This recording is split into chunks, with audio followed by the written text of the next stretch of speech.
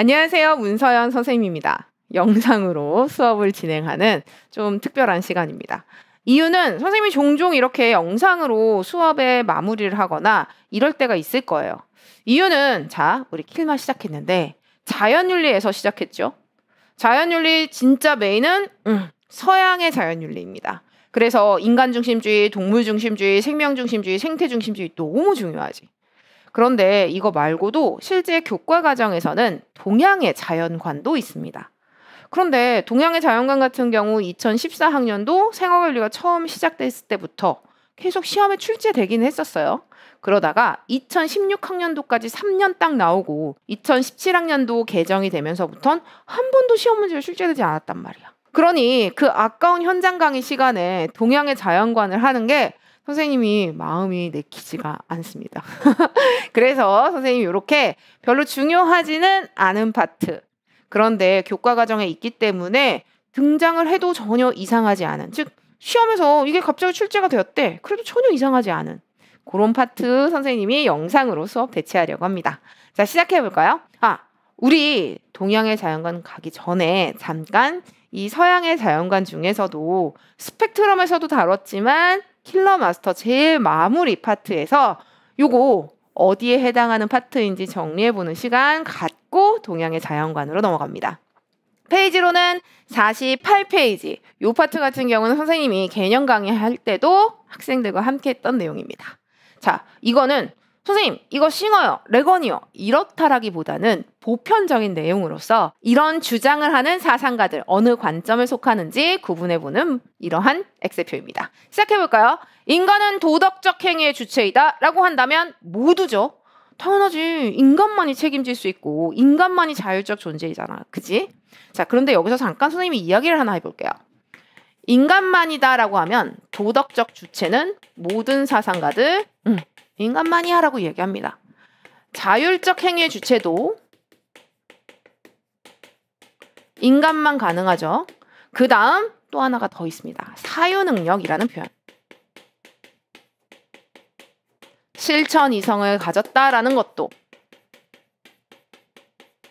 그리고 이성의 존재다라고 이야기하는 부분들도 전부 다 인간만 가능합니다. 그런데 이 정도까지는 다루진 않겠지만 의식이라는 용어는 조금 차이가 있어요. 어떤 차이가 있냐면 레건 같은 경우는 삶의 주체라면 자기 의식을 갖는다고 표현하거든. 레건 입장에서 자기 의식을 갖는 게 삶의 주체이기 때문에 의식은 레건 기준에서는 동물도 가능할 수 있습니다. 일부 포유로. 하지만 데카르트 입장에선 의식적 존재는 인간만 가능하지. 왜냐면 동물은 영혼이 없고 그리고 동물은 어 이런 생각을 할 수 있는 존재가 아니야. 기계잖아. 그래서 요 의식이라는 표현은 약간 차이가 있을 수 있다라는 걸 한번 정리해 봅니다. 하지만 이런 내용들은 어떤 사상가든 다 상관없이 전부 인간만이 갖는 특징이다라고 구분합니다. 인간의 존재도 도덕적 행위의 주체로 인정해야 한다라고 하는데 안 되지. 인간만 행위의 주체. 무엇? 도덕적 행위의 주체. 그런 얘는 없다.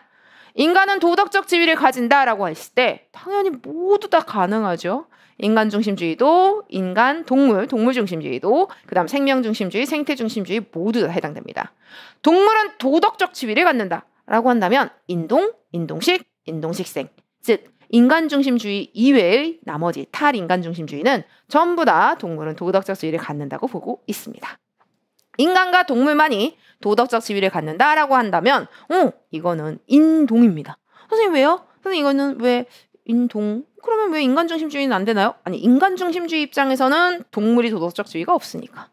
그리고 또 인간과 동물만이라고 이야기했기 때문에 식물이나 이런 것들은 도덕적 지위를 갖지 않는 거잖아. 그러니 인동만 해당되죠. 자연 안에 모든 존재들이라고 한다면 인, 동, 식, 생.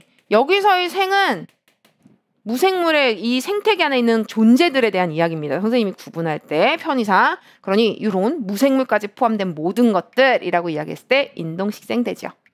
그 다음 동물은 인간과 마찬가지로 도덕적으로 존중받아야 된다라고 한다면 동물의 도덕적 지위를 인정하는 입장 인동, 인동식, 인동식생이라고 할 수 있다.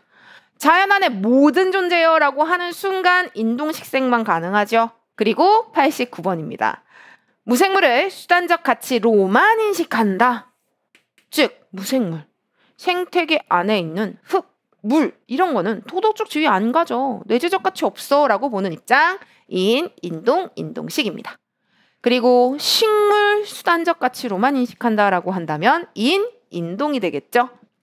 동물을 수단적 가치로만 인식한다라고 한다면 인간 중심주의. 무생물을 직접적 의무의 대상, 아, 도덕적 고려의 대상 이렇게 이야기할 수 있는 부분 인동식생 됩니다.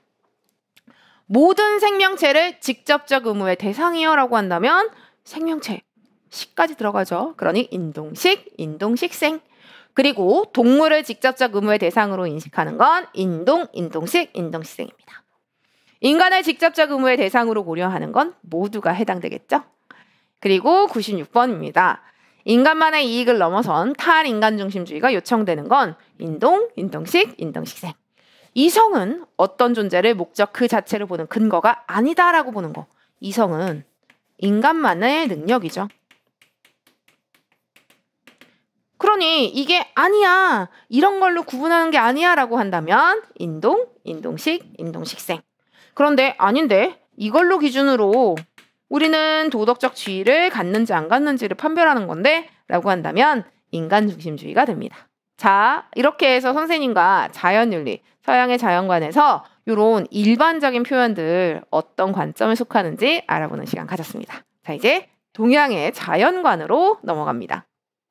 생활과 윤리에서 동양의 윤리라고 이야기를 했었을 때, 그치, 우리 세 가지 하잖아. 뭐뭐뭐? 유교, 불교, 도가. 이 동양윤리에서 자연을 어떻게 보는지 이 부분입니다. 그런데 이거 아까 선생님이 처음 시작에서도 이야기했었지만 2017학년도 이후에는 시험에서 직접적으로 동양의 장애관을 다루지는 않고 있습니다. 하지만 교과서에서도 EBS에서도 한 번도 빠지지 않고 다뤄지기 때문에 애기들 요 정도는 정리해 뒀으면 하는 바람에 선생님이 킬마에는 넣어두었습니다. 자, 확인해 볼까요? 유교주의부터. 자, 유교의 특징은 도덕을 강조한다? 그런 도덕을 강조하는 그 특징으로 자연을 바라보는 거야. 그러니 자연의 생명력 도덕적으로 해석합니다. 인간은 하늘을 본받아 사랑을 실천해야 한다. 하늘과 땅의 합의를 강조하죠. 애기들 이런 말 들어봤을 거예요. 야, 너 천벌 받을 줄 알아? 야, 너 하늘 무서운 줄 알아야지. 근데 이런 내용들은 무엇이냐면 하늘이라고 하는 하늘천이죠. 이런 자연을 도덕적 기준으로 보는 거야. 그러니 너 잘못한 행동을 했어. 옳지 못한 행동을 하면 벌 받는다라고. 여기에 인간의 윤리 규범을 그대로 반영한 거라고 보시면 됩니다. 그럼 선생님 왜 이렇게 우린 이 얘기가 익숙할까요? 우리는 조선시대 때부터 지금까지 유교주의 사회에 살고 있거든. 선생님 전 유교 아닌데요. 아니야. 부모에게 효도하세요. 가족을 아끼세요. 열심히 살아야죠. 학생면 학생답게 행동하세요. 전부 다 유교입니다. 내가 유교라고 의식하지 않아서 그렇지 실제로 우리의 이 대한민국 사회에서는 유교가 정말 강력한 힘을 가지고 있거든. 그러니 우리는 자연에 대해서도 이런 식으로 생각하는 거죠. 음흠. 아, 유교 도덕을 강조하는 그 입장에서 결국은 그 행위의 기준, 행위의 명령. 그래서 얘 천명이라는 개념까지도 있습니다. 하늘의 명령이야. 도덕적 명령이겠죠? 이런 거 전부 다 유교주의에 해당됩니다. 그런데 이거와는 좀 다른 기준도 있죠. 도가가 그 대표적이고 불교도 좀 다릅니다. 어디 볼까요? 불교 같은 경우에는 모든 것들이 필연적 상호 연관성을 갖고 있습니다. 이건 무엇이냐? 원인, 조건이 있기 때문에 결과가 등장하는 거야. 그러면 이 자연의 모든 현상도 결국은 원인이 있는 거죠. 아, 내가 함부로 생명을 죽이고 그러면 그게 그 다음 내 내생에 나에게 영향을 끼치겠구나. 결국은 그건 윤회에도 영향을 끼칩니다. 그러니 자연의 이러한 것들 모두 다를 아껴라라는 자비 사상을 강조하는 쪽으로 이어지게 되지요. 연기설은 모든 존재의 상호 의존성을 강조하면서 생명 존중 사상 그리고 무소유의 계율로 통해 검약 정신을 강조한다라고 하는데 실제 시험은 뭘로 나오냐면 우리 동양윤리에 접근했잖아. 뭘로 나오냐면 바로 이거. 야 자연에는 고정 불변의 실체 없어. 그치? 이게 중요한데 아 자연의 고정 불변함을 깨달아서 이렇게 얘기 나오면 다 틀린 거지. 자 불교는 어떻다? 이 세상 모두가 고통이라고 본다. 왜 고통이냐라고 하면 그 원인 집착해서. 그러니 집착을 버리면 고통도 사라지게 된다. 그러면 집착을 어떻게 버려야 되느냐? 이 세상의 고정 불변의 것들은 아무것도 없다라는 걸 깨닫는 거죠. 선생님, 여름이 되면서 매미가 울고 있어요. 작년에 울던 매미가 다시 또 우네요. 아니야, 작년 매미 다 죽었어. 새로운 매미입니다. 선생님이 동양윤리 접근할 때 했던 그 이야기가 그대로 이렇게 자연윤리에도 들어가죠. 자, 이렇게 해서 불교도 끝났습니다. 자, 이제 마지막 도가입니다. 자, 천명이 있어, 유교에는. 야, 하늘 무서운 줄 알아. 야, 너 천벌 받을 거야. 하늘이 도덕적 명령을 내리고 하늘이 바로 도덕적 기준이 되는 거야. 그런데 도가는 그걸 비판합니다. 야, 그런 게 어딨냐? 세상 만물을 움직이는 게 도인데, 야, 그 도를 기반으로 한 인간, 그 도를 기반으로 한 고양이, 그 도를 기반으로 한 나무, 결국은 이 자연의 이치에서 벗어나는 건 하나도 없고 다 똑같은 자연의 이치야. 무차별을 강조합니다. 그래서 이 무차별을 강조하는 입장에서는 자연? 야, 자연에 무슨 감정을 넣어? 야, 자연은 그냥 그런 거야. 라고 이야기하지. 이거 선생님이 죽은 간 할 때도 얘기했었죠. 선생님이 도를 깨달은 이야기. 벌써 선생님이 이제 현장 강의에 익숙한 애기들이니까 선생님의 도 이야기 한 10번은 들은 것 같지 않아? 그지? 그거. 어, 선생님이 도를 깨달은 후 애기들의 미래를 볼 수 있다는 그것. 무엇? 네. 바로 애기들은 언젠가 죽는다. 근데 내가 이 얘기하면 애기들 웃는다니까? 왜? 너무 당연한 얘기를 해서 바로 이겁니다. 자연도 그렇게 보는 거야. 그래서 이제 도가 입장에서는 이런 이야기를 합니다. 하늘은 어질지 않아 만물을 지프로 만든 개 취급한다.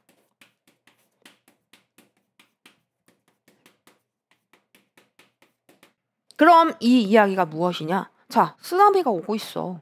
인간이니까 살리고 개니까 죽이고 쓰나미가 오고 있는데 착하게 산 사람은 살리고 못되게 산 사람은 죽고? 아니야. 그냥 자연의 이치, 자연의 만물 안에서는 그냥 다 똑같아. 라고 봅니다. 그러니 이거 이거 왜 그러느냐라고 했었을 때 무슨 명령을 내리고 규범을 목적을 갖는 그런 게 아닌 거야. 자연은 그냥 사실 그 자체인 거야. 그러니 자연에는 아무런 목적이 없습니다. 자, 생각해 보세요. 인간의 의지는 분명히 목적을 가지고 있어. 애기들 왜 지금 이 가, 영상을 보고 있는데? 만점 맞으려고. 그지? 그런데 아무런 목적이 없다? 도가는 그렇게 보는 거야. 자, 중력의 법칙. 뿅! 얘 왜 떨어질까? 어떤 목적을 가지고 떨어지는 걸까? 자연은 목적이 없다고 봅니다. 그렇지만 완전히 질서 정연하지. 이거다. 내가 이렇게 분필을 떨어뜨리는데 갑자기 위로 솟구치는 일은 없습니다. 100% 아래로 떨어지죠. 질서 정연함. 자연의 이치는 항상 그러합니다. 그러니 예, 목적이 없는 무의 체계를 강조하죠. 인위적이지 않은 자연스러운 무목적의 질서 정연한 그 이치 말이지. 인간의 인위적인 의지나 욕구와 무관하게 존재하는 자연의 가치, 아름다움을 중시합니다. 그런데 요거 우리가 유불도를 전부 다 이제 다 정리를 했죠. 그런데 그들의 공통점이 있습니다. 자연관의 공통점, 동양의 자연관의 공통점인데 인간과 자연의 조화를 추구한다라는 거. 이거는 유교, 불교, 도가 얘네들과 구분되지 않고 그냥 전부 다라고 생각하면 돼. 이거는 무엇과 구분되냐면 서양과 구분됩니다. 데카르트 같은 경우에 대표적으로 이분법적 자연관입니다. 이분법적 자연관이라는 건 무엇이냐면 이성을 가진 인간과 그렇지 않은 자연이 같은 레벨에 있을 수가 없어. 완전히 분리된 거야. 얘는 완전 다른 영역, 얘는 완전 다른 영역으로 말이지. 하지만 동양의 자연과는 그 특성상 자연 안에 이렇게 인간이 들어가 있습니다. 그래서 이게 그림에서도 나타납니다. 이 서양의 그림을 보면 자연 없이 그냥 인간만 혼자 막 서 있어. 그리고 막 인간만 막 이렇게 그려져 있고. 그런데 거기에 비해서 동양의 그림을 보면 인간은 이렇게 점으로 딱 점 찍어져 있는 산수 같은 거 보면 인간이 이렇게 콕 들어가 있는 그런 느낌이라고 생각하시면 됩니다. 아, 유불도 모두 다 인간과 자연의 조화를 추구하는구나. 그런데 각각의 특징이 있구나. 도덕적인 특징으로 자연을 바라보는 유교, 상호 의존성을 강조하는 불교, 그리고 무목적의 자연 질서, 무의 체계로서의 자연을 강조하는 도가. 자, 이렇게 해서 우리 동양의 자연관 전부 다 정리했습니다. 이제 엑셀표 차례입니다. 어디 시작해 볼까요? 이게 바로 평가원이 제시했던 그 제시문, 도가의 제시문이죠. 하늘과 땅은 사랑을 모름으로 인간을 포함한 만물을 지프로 만든 개 취급한다. 성인도 사랑을 모름으로 백성을 지프로 만든 개 취급한다. 라고 한다면 뭐냐면 이게 바로 무차별의 절대경지지. 자연의 이치 안에서는 전부 다 같다고. 쓰나미 오는데 사람 살리고 개는 죽이고 그러지 않는다고. 그 다음 2번 인과 연이 생겨나는 것이 법이다. 인연. 아, 연기설이군요. 이것을 공하다고 하다. 단 하나의 법도 인과 연에 따라 생겨나지 않는 것이 없으니 일체의 법이 공하다라고 하면 불교가 됩니다. 아, 필연의 상호 관계성을 강조하는 불교의 특징이군요. 자, 이제 3번. 하늘은 아버지요. 하늘을 사람처럼 바라보는 거지. 땅은 어머니다. 자연을 사람처럼 말이지. 나는 미미한 존재로 그 가운데 살고 있다. 나는 천지의 기운을 나의 몸으로, 천지의 이치를 나의 본성으로 여긴다. 라고 했을 때, 하늘을, 땅을 인간처럼 보는 거. 바로 유교의 특징. 그래서 아버지, 어머니가 도덕적으로 살라고 명령까지 내리죠. 천명 말이지. 자, 이제 OX 해볼까요? 유교의 특징입니다. 자연은 인간이 마땅히 지켜야 할 예법의 기준. 그렇지. 도덕 규범의 기준이 되는 거야. 그러니 5가 됩니다. 5번. 자연은 만물이 조화를 이루는 상호 의존적 관계라고 한다면 연기설을 강조하는 불교의 특징이죠.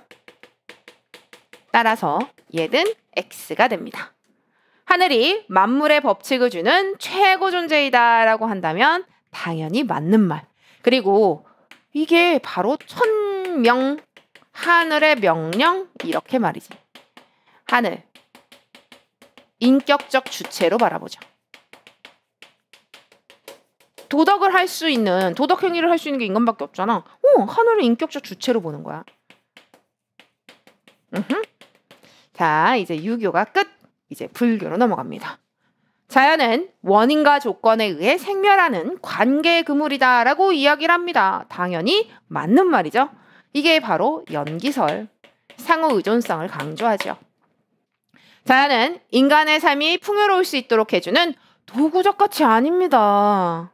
왜냐면 상호 의존성이야. 그래서 불교에서는 살생하지 말라고 함부로 생명을 죽이면 안 된다라고도 얘기하잖아. 그러니까 얘는 X가 됩니다. 그럼 선생님, 얘는 뭔가요? 이렇게 도구적 가치의 총체라고 하는 건요. 서양의 자연관입니다. 서양 중에서도 인간 중심주의. 입장이 되겠죠? 연기적 관점에서 자연을 인식하는 거 맞는 말이죠. 상호 의존성을 강조하는 거. 고정된 실체로서 안 된다니까. 고정 불변의 자아도 없고 고정된 실체도 없다고 보는 게 불교의 특징입니다. 그런 얘는 X가 됩니다. 그리고 도가입니다. 11번 맞추셨나요? 11번 생각보다 많이 틀렸던 선지였습니다. 2015학년도 9월 모의평가가 제시했던 선지였는데 아이들 입장에서는 어, 자연은 인간의 의지와 무관하다고 하니까 음 그러면 상호 독립적이네 맞네 이렇게 접근한 거야. 근데 아니었습니다. 예, X입니다. 상호 독립적이지 않거든요. 자, 생각해봐. 여기 자연의 이치가 있다니까? 이 자연의 이치가 바로 도라고 했잖아, 선생님이. 자연의 이치 안에 그거를 기반 삼아, 어, 인간도 존재하고, 고양이도 존재하고, 풀떼기도 존재하고. 그래서 이 자연의 이치, 그 안엔 무차별의 레벨까지 도달하는 거 소요율도 있겠잖아. 그런데 이런 부분들 바로 무라일체라고도 이야기할 수 있습니다. 사물과 내가 하나 되는 거. 근데 어떻게 독립적이야? 근데 이제 애들이 물어봐. 근데 선생님 인간의 의지와 무관하다고 했잖아요. 자 이거야. 애기야. 돈이 진짜 많은 사람들이 요구하는 즉 가장 끝의 욕구가 뭔지 아십니까? 바로 불로장생입니다. 애기들 불로장생하면 누구 생각나나요? 응, 우리 진시황 생각난다? 진시황이 어마어마한 막 무덤을 만들고 이런 거 자기 불로장생 하고 싶어서 불로처 찾으려고 돌아다녔고 그 다음에 불로장생 하고 싶어서 그만큼의 막 이런 염원을 담아가지고 무덤도 만들고 뭐 이랬던 거야. 근데 인간의 의지가 그렇게 강했는데 과연 불로장생 하는 사람은 있을까요? 없지. 자연의 이치 하에 누구나 언제 어디인지는 모르지만 음, 자연의 이치 하에서는 어떤 생명체든 그 끝을 맞이하게 됩니다. 그치 죽음이 있다라는 거야. 이건 인간의 의지와 무관하지만 자연의 이치를 따르는 거죠. 이렇게 도가를 바라봐야 합니다. 자, 이거 왜 X인지 아시겠죠? 그럼 선생님 상호 독립적으로 보는 건 뭐예요? 다시 얘기하지만 데카르트 이분법적 구조잖아. 으흠. 그러니 얘는 X. 자, 이제 12번입니다. 천재를 질서가 없는 무의체계. 어, 선생님 무의체계 맞아요. 근데 질서가 없는 건 아니지. 목적이 없는 건 맞습니다. 중력의 법칙에 의해서 분필이 떨어지는데 아니 분필이 떨어지는 목적은 없어. 무목적의 질서 정연함이지. 그러니 무의 체계는 맞지만 질서가 없는이 틀렸어. 그러니 얘는 X가 됩니다. 하늘 아래 만물이 무의의 자연스러움을 따라야 한다라고 하는 건 맞는 말이죠. O가 됩니다. 그런데 선생님이 아까도 얘기했듯이 이게 2017학년도 이후에는 한 번도 출제가 된 적이 없어서 지금도 출제될 가능성은 좀 낮은 파트입니다. 하지만 요 정도는 정리해뒀으면 하는 생각에 선생님이 쭉 유불도의 자연관까지 해서 우리 동양의 자연관도 마무리 지었습니다. 이젠 서양의 자연관, 동양의 자연관 핵심 문제풀이 시작해 봅니다. 1번입니다. 자, 시작해 볼까요? 가불병 사상가들의 입장에 대한 설명으로 옳은 것은 설마 가불병 누군지 모르진 않겠죠? 이거 시간 자체가 좀 아깝습니다. 왜냐면 우리 엑셀표를 통해서 사상가 누구인지 인동, 인동식 뭐 이런 거 해가지고 사상가 누구인지 다 확인했잖아. 그거 하고 오면 네 이거 다 평가원 기반으로 선생님이 만든 문제거나 혹은 평가원 기출 문제이기 때문에 사상가를 구분하는 건 정말 쉽죠. 그래서 빠르게 넘어갑니다. 갑은 아리스토텔레스, 을은 데카르트, 그리고 병은 슈바이처입니다. 답은 5번이었습니다. 어디? 확인해 볼까요? 갑은 을과 달리 인간 중심주의적? 무슨 말이야? 데카르트도 인간 중심주의 사상가입니다. 따라서 달리라는 말 틀렸죠? 자, 갑은 병과 달리 기계론적 자연관? 애기, 기계론적 자연관은 데카르트입니다. 동물 기계론 말이지. 그러면 아리스토텔레스는 그렇지 목적론적 자연관입니다. 우리 엑셀표 처음에서 딱 이걸로 시작했었죠? 따라서 2번도 답이 되지 않습니다. 3번. 을은 인간과 달리 동물은 영혼과 육체의 단순한 결합체일 뿐이다라고 본다? 설마, 설마 여기서 낚이진 않겠죠? 이제 동물, 영혼 없는 건 알 테니까. 그지? 이게 2017학년도에 한 번 나오더니 이 2019? 이럴 때도 한 번 또 나오거든요. 그런데도 애기들이 틀리더라고. 이거 평가원이 가끔 출제하는 선지라는 거. 이제 애기들 머릿속엔 동물, 기계일 뿐이다. 영혼 없다. 라고 정리해 두셔야 됩니다. 3번 답이 될 수 없습니다. 4번 볼까요? 병. 자연 안의 모든 존재들? 아니, 모든 존재라고 하면 이거 인동식생이잖아. 아니, 근데 슈바이처는 인동식이잖아. 그게 답이 될 수 없습니다. 가, 의병. 인간 중심주의든 생명 중심주의든 상관없이 도덕적 행위의 주체는 인간뿐이라고 보죠. 답은 5번입니다. 자, 이제 2번으로 가봅니다. 어디 사람 누구인지 확인해 봅니다. 삶의 주체를 강조하는 맞아 레건입니다. 그 다음 을. 자연의 피조물 이성을 갖지 않는다고 해서 잔인하게 다루면 안 된다고 하는데 그 이유는 인간성에 도움이 되기 때문이야 라고 이야기하는 부분. 인간을 위해서죠. 그러니 칸트됩니다. 자연을 사냥의 노예로 만들어 인간의 이익에 봉사하도록 해야 한다라고 이야기하는 거 바로 베이컨이죠. 갑은 레건, 을은 칸트 그리고 병은 베이컨. 그러면 요거 플로우 차트 그림 요거 어떻게 보는지 아시죠? A에는 갑, 레건만 긍정하고 얘네 둘은 부정할 내용이 들어가야 되고 B 같은 경우는 갑이 뭐라고 하든 상관없습니다. 여기엔 칸트가 긍정하고 베이컨이 부정할 이야기. 그리고 C 같은 경우는 칸트만 긍정하면 되는 이야기. D 같은 경우는 베이컨만 긍정하면 되는 이야기죠. 답은 1번이었습니다. 어디 한번 확인해 볼까요?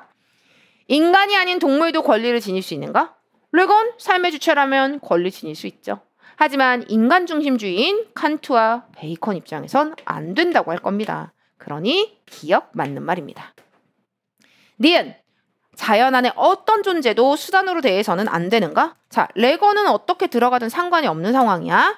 칸트만 긍정, 그리고 베이컨은 부정. 이렇게 이야기하면 되는데 칸트 같은 경우에 왜 수단으로 대해서는 안 되는가? 틀렸죠. 인간마저도 수단으로 대할 수 있습니다. 수단으로만 대하면 안 될 뿐이죠. 음, 수단과 동시에 목적 가능하니까. 더군다나 인간 아닌 존재들, 동물이라든지 식물이라든지 무생물은 수단적 가치만을 부여받습니다. 따라서 얘 X되죠. 베이컨도 당연히 X지. 그러니 니은 답이 될 수 없습니다. 디귿입니다. 인간만이 도덕적 의무를 실천할 능력을 소유하는가라고 했었을 때 칸트 긍정할 내용이죠. 물론 레건, 베이컨 뭐라고 답하는지 중요하지는 않지만 얘네들도 긍정할 내용이겠지. 디귿 띵동 맞는 말입니다. 칸트만 긍정하면 되는 거니까. 요거는 얘네들이 뭐라고 대답하든 상관이 없는 상황이니까. 자 이제 리을입니다. 자연의 내재적 가치를 이해하여 자연을 지배해야 하는가? 그래 자연을 지배해야 되는 건 맞아. 그런데 베이컨 입장에서 자연이 내재적 가치를 갖지 않잖아. 그러니 베이컨 X됩니다. 따라서 리을 답이 될 수 없습니다. 기역과 디귿 골라 답은 1번이었습니다. 갑을병 사상가들을 그림으로 표현할 때 각각 보기에서 답 골라봅니다. 자, 쾌고로 느낄 수 있는 능력. 어떤 존재가 이익 관심을 갖기 위한 필요 충분 조건이다라고 한다면 싱어대지요. 자연의 아름다움을 무자비하게 파괴하려는 성향, 인간 자기 자신에 대한 의무에 어긋나는 거다라고 하는 사람 칸트가 됩니다. 그리고 요거 병 이건 한번 눈여겨봐 주세요. 왜냐면 이건 2021학년도 수능의 지문 속 내용이었잖아. 이거 수능 기출입니다. 근데 이게 한 번도 선지로 내려온 적은 없거든. 딱 봐도 응 대지네 레오폴드 이렇게 풀 수 있습니다. 그런데 요 내용 우리의 본능은 공동체 내에서 경쟁할 것을 촉구하는 응. 자, 우리는 살려고 하는 본능이 있어. 그러면 당연히 먹이를 먹기 위하여 다른 존재들과 경쟁합니다. 하지만 그의 윤리, 인간이기에 윤리를 갖고 그 인간의 윤리는 협동하라고 촉구하기도 합니다. 자, 이렇게 해서 본능은 경쟁할 것을 촉구하지만 윤리는 협동도 하라고 말이지. 레오폴드와 관련된 제시문이었습니다. 자, 이제 보기에서 답 골라봅니다.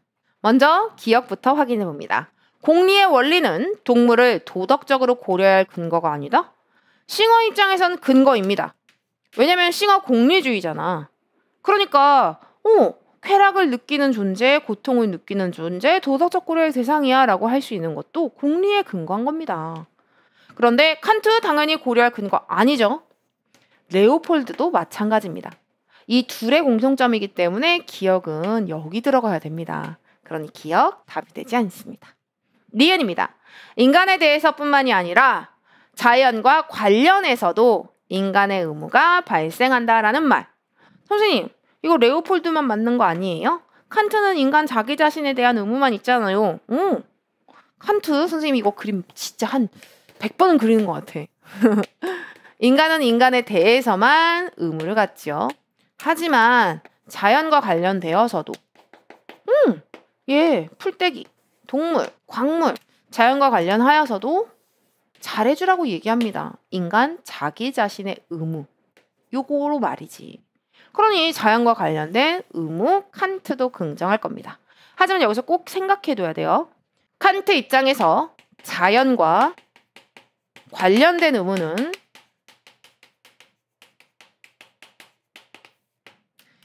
인간 자기 자신에 대한 의무입니다. 그래서 선생님이 요거 전치사 구분하라고 이야기했습니다. 요 표현들 관련한과 대하는 다르다. 자연과 관련된 의무마저도 인간에 대한 의무이다 라고 말이지. 그럼 선생님 싱어는 어떻게 되나요? 라고 하면 싱어는 실제로 확정적으로 말하기는 어렵습니다. 왜 그러냐면 이게 시험 문제를 출제할 때 사상가가 그렇다, 아니다. 그리고 사상가가 명확하게 딱 그 포지션이 딱 보이는 형태로 문제를 출제하는데 이 표현 같은 경우, 이 문장 같은 경우는 싱어에 대해서 확정적으로 대답하기가 조금 어려운 표현이죠. 다만 답은 확실히 구분된다. 왜냐면 이거 칸트도 긍정할 거기 때문에 여기 B에 들어갈 내용이 아니라 여기 니은에 들어가야 되거든요. 그런데 이 부분에 대해서는 이제 해석의 여지들이 조금씩은 있기는 해요. 그래서 선생님 이 뒤에 이 답안지를 보면 어 니은은 싱어, 칸트, 레오폴드 모두가 긍정할 내용이다라고 적혀 있습니다. 근데 그 이유가 뭐냐면 그게 선생님 연구실에서 이제 이 해설을 썼는데 연구실에서 참고한 부분이 EBS를 참고한 거야. 근데 이게 EBS 기준으로는 모두가 참 여기에 찬성할 내용이다라고 나왔기 때문에. 근데 선생님은 실제로는 여기에 대해서는 맞다 틀리다라고 확정하기 어렵다라는 게 선생님 입장입니다. 미안해요. 선생님이 최종적으로 해설을 다시 봤었어야 되는데 선생님 엑셀 표면은 엄청 신경 쓰다 보니까 해설은 이렇게 조금 선생님이 검수를 잘 못했습니다. 그런데 이렇게 생각하고 정리하시면 됩니다. 자, 그런데 답은 확실히 구분되는 거 뭔지 알겠죠? 출제하는 입장에서는 이것만으로도 맞는지 안 맞는지가 판별되니까. 으흠. 따라서 답 니은 될 수 없습니다.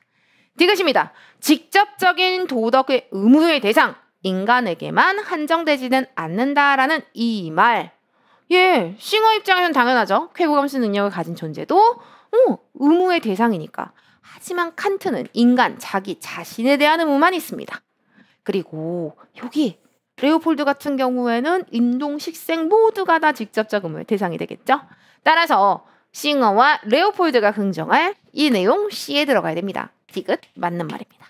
그 다음 도덕적 지위를 지닌 존재의 범위를 모든 생명체로 설정하는 것은 부적절하다. 그렇지. 싱어 입장에서는 야 모든 생명체가 아니라 쾌고 감수 능력을 가진 존재여야 돼라고 이야기할 것이고 칸트 입장에서는 야 모든 생명체가 아니라 인간만이어야 돼라고 얘기할 것이고 레오폴드 입장에선 야 모든 생명체가 아니라 무생물도 들어가야 돼라고 이야기할 거기 때문에 오오오 그러니 D 답은 리을 맞는 말이죠. 디귿과 리을 골라 답 네, 3번 됩니다. 자, 이제 4번으로 넘어갑니다. 4번. 작년 수능 문제였습니다. 작년 수능 문제는 이 제시문을 보면 좀 어색합니다. 선생님이 수업 시간에도 얘기했는데 이게 뭐냐면 이게 참 그렇다. 우리가 기출문제 뭐 마더텅을 보든 자이스토리를 보든 다른 어떠한 기출문제들은 우리가 고3 때도 봤고 재수할 때도 보고 그러면 오래전부터 쫙 봐왔던 거야. 근데 작년 수능은 생각보다 많이 보지 않습니다. 근데 실제 올해 수능에 제일 많이 반영될 여지가 있는 건 작년 수능 올해 6, 9월이죠. 선생님과 킬말을 했다라면 이제 평가원이 제시한 요 제시문이 얼마나 중요한지를 알 테니까 제시문 꼼꼼히 챙겨주세요. 자, 요 내용 테일러의 이야기입니다. 근데 요거 유기체는 외적 활동뿐만 아니라 내적 기능도 모두 목표 지향적이다. 어떤 목표겠어? 자기의 생명 증진 활동 말이지. 선생님, 저는 외적 활동이 도대체 뭔지 잘 모르겠어요. 자, 생각해보자. 물론 테일러가 이렇게 얘기한 건 아닙니다. 하지만 난 테일러를 이해했으니까 음, 테일러도 선생님이 이렇게 얘기하는 거 오케이라고 할 거거든. 뭐냐면 이런 겁니다. 선생님이 생명 증진 활동을 통해서 아, 나의 몸이 삼겹살을 원하는 걸 아는 거야. 그래서 선생님이 마트에 가서 삼겹살을 사왔습니다. 내적 활동일까 외적 활동일까? 자, 또한 선생님이 그걸 가지고 삼겹살을 먹고 소화를 시켰습니다. 내적 활동이겠죠. 이런 모든 활동들, 네, 다 생명 증진 활동과 연결돼 있는 거야. 자기 생존을 위해서죠. 근데 선생님, 공부하는 건요, 왜요? 이게 너무 심오합니다. 공부도 실제로는 생명 증진 활동입니다. 에? 이게 무슨 말이에요? 우리는 생존을 하고 싶어 한다? 근데 생존을 할 때 더 많은 수단을 가지고 있다라면 생존하기가 좋겠지. 그러면 우리가 현대사에서 살아갈 때 수단이 될 수 있는 게 뭘까?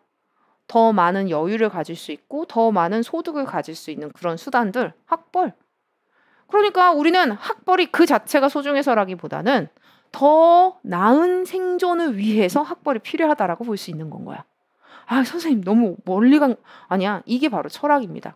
그렇지. 생존을 위해서 더 나은 수단을 갖는 게 좋지요. 그러니까 그건 외적 활동들일 거야. 아기가 공부하는 것도 결국은 따지고 보면 더 나은 안정적이고 이러한 좋은 생명 증진 활동인 거죠. 너무 멀리 갔죠. 이게 바로 테일러의 이야기입니다. 생물의 기능 성공적으로 수행하는 지속적 경향성 무엇이냐? 생명 증진 활동 말이죠. 갑 테일러라면 을은 별로 어렵지 않았죠. 칸트입니다. 평은 삶의 주체를 강조하는 네 레건이 되겠죠. 그런데 여기 자원인 것처럼 대우받아서는 안 된다. 자, 다시 한번 봅니다. 레건 입장에선 의무론이야. 내재적 가치를 가진 존재들을 목적으로 대우해야 됩니다. 그럼 수단으로 안 될까? 아니야. 수단으로 대우할 수 있습니다. 다만 언제나 목적과 동시에 수단이어야 되지 않을까? 으흠. 그럼 선생님, 목적과 동시에 수단인 건 뭐가 있을까요? 있기는 있습니다. 리트리버가 왜 만들어졌게요? 여기 리트리버는 품종 개량한 강아지입니다. 개죠. 선생님, 왜 만들어졌는데요? 왜냐하면 사냥을 위해서 만들어졌습니다. 저 멀리에서 어, 오리가 있다 빵 쏜 거야. 그러면 그 오리가 맞았어. 그럼 떨어질 거잖아. 그럼 리트리가 막 가가지고 그 오리를 물어오는 거. 이게 리트리버의 이 품종 개량의 목적이었습니다. 근데 선생님 같은 경우에 선생님 강아지 너무 사랑했거든요. 우리 집 그 딱이 맞는 그 강아지 말이지.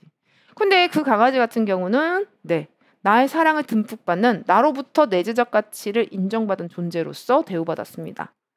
근데 잘 생각해 보자. 어떤 사람이 자기가 사냥을 할 때 자기네 집 강아지 리트리버를 데리고 가. 그러면서 엄청 사랑해 주는 거야. 가족처럼. 그렇다면 목적으로 대우하면서도 야 가서 물어와 수단으로 대우하기도 한 거죠. 물론 이런 건 시험에 나오지 않습니다. 지금 선생님이 시간적인 여유가 있잖아요. 영상이니까 뭐 이게 뭐 10분에 끝나든 20분에 끝나든 그러니 한번 이야기해 봤습니다. 자, 그런데 레건 그러면 선생님 자원은 그러면 어? 말이 안 되잖아요. 수단으로 대우할 수 있다면서요. 자, 보세요.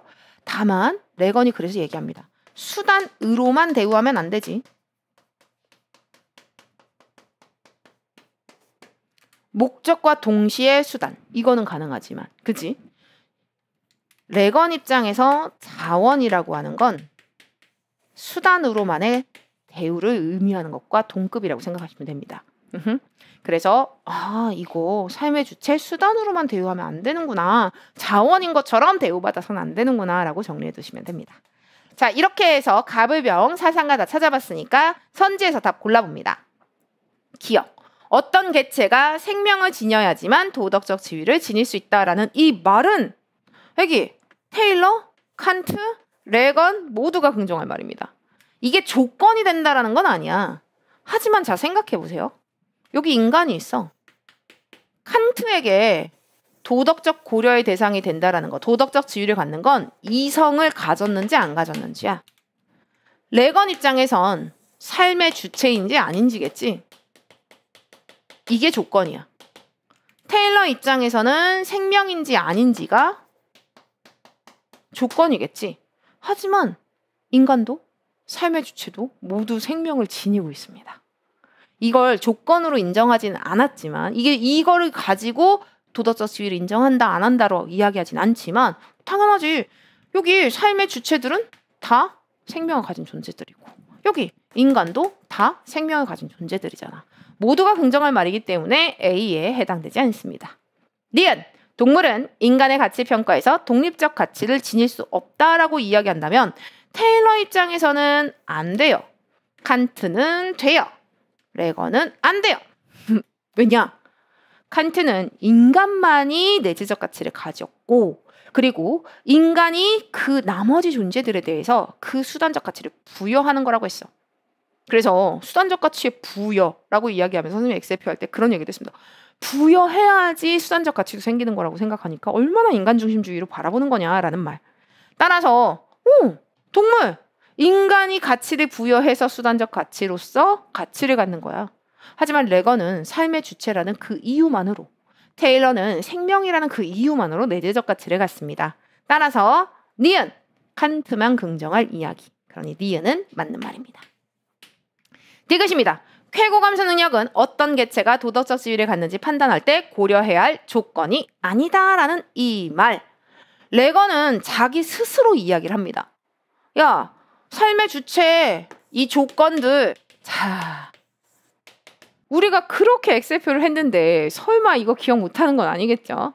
삶의 주체의 조건, 쾌고 감 수능력 당연히 필요 조건이고요. 그와 더불어 미래에 대한 감각, 자기의식, 그리고 기여, 그리고 자기 정체성. 이런 것들을 가지고 있을 때 삶의 주체라고 이야기합니다. 따라서 쾌고감 수능력 어떤 개체가 도덕적 지위를 갖는지 판단할 때 고려할 대조건이 아니다라고 이야기한다면 레거는 아니야 고려해야 돼라고 이야기할 겁니다. 하지만 테일러는 생명이기만 하면 도덕적 고려의 대상이죠. 칸트 입장에서는 쾌고 감성력이 있는지 없는지가 중요한 게 아니야. 이성이 있는지 없는지가 중요한 거지. 따라서 칸트와 테일러가 긍정할 디귿 C에 들어가야죠. 맞는 말입니다. 그 다음 리얼입니다. 인간에 대한 인간의 의무로 환원되지 않는 의무가 있다라는 이 말. 테일러 입장에서는 자 이거 직접적 의무의 대상, 화살표의 대상이 무엇이냐죠. 테일러 입장에서는 인간은 인간에 대해서도 동물에 대해서도 식물에 대해서도 도덕적 의무를 갖습니다.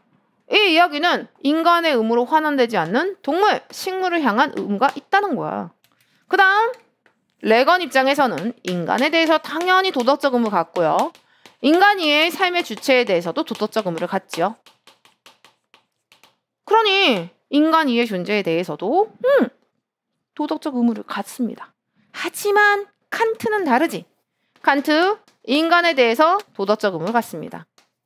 그런데 동물에 대해서도 잘해주라고 이야기합니다. 그런데 왜 잘해줘야 돼? 인간에게 도움이 되기 때문에. 결국 동물에게 잘해주는 건 인간에 대한 의무로 환원되죠. 그러니 인간에 대한 의무로 환원되지 않는 의무가 있다라고 이야기를 했었을 때 테일러는 있어요. 여기 여기 레건도 있어요. 여기 요거 요거 요거 삶의 주체. 하지만 칸트는 없어요라고 이야기할 겁니다. 따라서 테일러와 레건이 긍정할 이 이야기 D에 들어가야 됩니다. 리을까지 딱 맞아서 니은, 디귿, 리을 답은 5번입니다. 자 이제 마지막 문제입니다. 마지막 문제는 동양의 자연관입니다. 어디 한번 볼까요? 본래의 마음을 완전히 발휘할 수 있다면 그 본성이 무엇인지 알 수 있다. 본성이 무엇인지 알 수 있다면 하늘이 무엇인지 천명이라고 나와 있네. 하늘이 명령할 수 있는 존재, 인격적 주체로 본다라면 얘 유교가 됩니다. 사람은 땅의 법칙 삼고 땅은 하늘의 법칙 삼고 그리고 하늘은 돌의 법칙 삼고 도는 결국 자연이네요 라고 이야기했었을 때 도가가 되지요. 이것이 있으면 저것이 있고 이것이 없으면 저것이 없다. 상호 의존성을 강조하는 불교입니다. 자 이제 적절한 거 고르라고 하니까 1번부터 확인해 봅니다. 만물이 지닌 생명력을 천도의 도덕적 표현으로 본다. 띵동 맞는 말. 답 1번이었습니다. 근데 선생님 이거 도라는 표현은 도가잖아요. 아니야. 도라는 표현. 이거 유교에서도 쓸 수 있고 도가에서도 쓸 수 있습니다. 유교에서 도를 쓸 땐 인간의 도리로 말이지. 즉 윤리 규범. 도가에서의 도는 만물의 이치가 되죠. 선생님이 항상 이야기하는 자연의 이치 말이지. 둘 다 도 쓸 수 있어요. 하나 더 나아가면 덕도 둘 다 쓸 수 있습니다. 유교에서의 덕은 음 이게 인간의 도덕, 토덕 규범, 인의 예지. 이런 것들. 이게 사덕이거든. 그런데 도가에서의 덕은요. 대표적인 물의 덕 같은 게 있습니다. 싸우지 마세요. 부쟁, 겸허 이런 거. 이런 것들도 자연의 덕이라고 표현할 수 있습니다. 자, 이제 2번으로 넘어가 볼까요? 나 하늘이 부여한 도덕적 가치 도덕을 접근하지 않습니다. 도덕 규범이라는 거 결국 인위적인 규범 체제이기 때문에 도가가 좋아하지 않죠. 도덕적 가치를 좋아하는 건 유교입니다. 그 다음 3번. 나는 가와 달리 천지를 질서가 없는 아니라니까. 도가는 무질서 아니야. 무목적입니다. 자연이 목적 없지. 하지만 질서가 없는 건 아니야. 무목적의 질서 정연. 강조합니다. 따라서 요 무의 체계까지는 맞아요. 하지만 질서가 없는 이 틀려서 3번 X. 4번. 다는 만물의 변화는 물질적 요소의 집합. 여기야 이거 바로 서양의 자연관입니다. 그냥 물질적 요소들이 모였을 뿐인 거야. 거긴 영혼 따위도 없지. 음, 기계론적 자연관이 그 대표적인 예라고 볼 수 있습니다. 그러니 얘는 유불도 어디에도 해당되지 않아요. 답 다일 수 없죠. 4번 X가 됩니다. 5번 가나는 하늘이 만물의 운명을 주지하는 인격적 존재. 여기야 천명을 내려주시는 인격적 존재. 야 하늘 무서운 줄 알아. 이런 것들은 유교는 가능합니다. 하지만 도가가 안 되죠. 5번 답이 될 수 없습니다. 5번의 답 1번입니다. 자, 이렇게 해서 선생님과 함께 자연윤리의 핵심 문제까지 풀어봤습니다. 선생님이 영상으로 강의를 대체하는 이유는 아까도 얘기했듯이 문제, 엑셀표가 완전히 애기들 머릿속에 들어가 있다면 이 문제 푸는 것 자체는 어렵지 않아서도 있고요. 그리고 두 번째, 동양의 자연관 같은 경우에는 요즘에 출제 빈도 자체가 너무 낮기 때문에 그거 현장 강의에서 진행하기엔 너무 아까운 거지. 선생님 현장 강의에서 진짜 해주고 싶은 얘기가 너무 많거든. 그래서 선생님이 동양의 자연관 그리고 문제풀이는 영상으로 대체했습니다.